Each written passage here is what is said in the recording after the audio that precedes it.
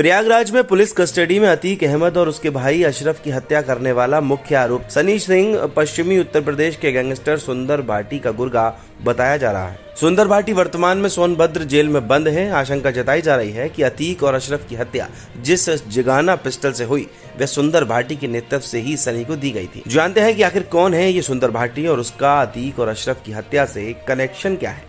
बता दें कि पश्चिमी उत्तर प्रदेश के गैंगस्टर सुंदर भाटी पर हत्या हत्या का प्रयास, रंगदारी, लूट और मारपीट के करीब 60 से ज़्यादा मुकदमे दर्ज है।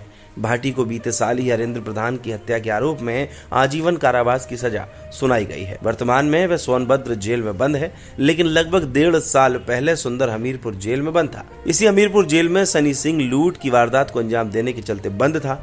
इसी जेल में सनी की दबंगई को देखकर गैंगस्टर भाटी उसे अपने करीब लाया और धीरे धीरे सनी उसका चेला बन गया। कुछ समय बाद सुंदर भाटी को हमीरपुर से सोनभद्र जेल में बंद कर दिया गया और सनी भी जेल से छूटकर बाहर आ गया।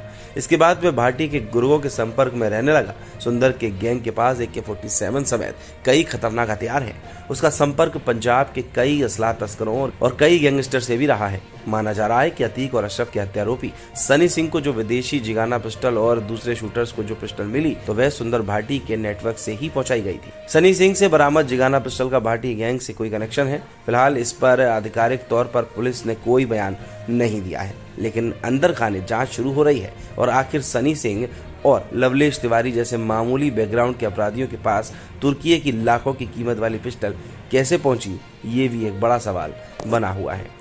अगर आपको भी ये वीडियो पसंद आई हो तो इस वीडियो को लाइक ज़रूर करें।